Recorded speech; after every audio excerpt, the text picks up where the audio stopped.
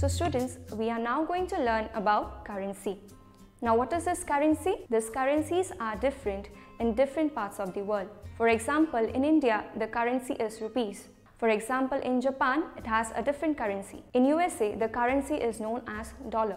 Similarly, there are different countries in the world which has their own currencies. In India, the Reserve Bank of India is the only legal authority which can issue currency notes on behalf of the central government. Other individuals cannot issue this money. The rupee is widely accepted as a medium of exchange in India. So what have we learned students? We had learned that the RBI or the Reserve Bank of India has the sole authority of publishing the currency that we use in India and no other organization can issue the currency of India. So the next topic which we are going to learn is about deposits in bank. So you might have seen your parents depositing the money in bank. Now what does bank play a role there? We will learn more about it now.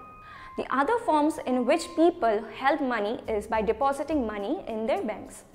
People deposit their extra cash with the banks by opening a bank account in their name. Banks accept the deposits and also pay an amount as interest on the deposits to the depositors. The deposits in the bank can be withdrawn on demand. These deposits are known as demand deposits. The payment are made by checks instead of cash.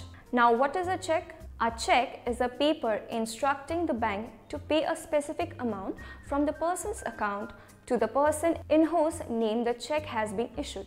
A check can be used to make payments directly from a bank deposit without using cash. So, these are modern forms of money. A check is one of a perfect example of modern forms of money.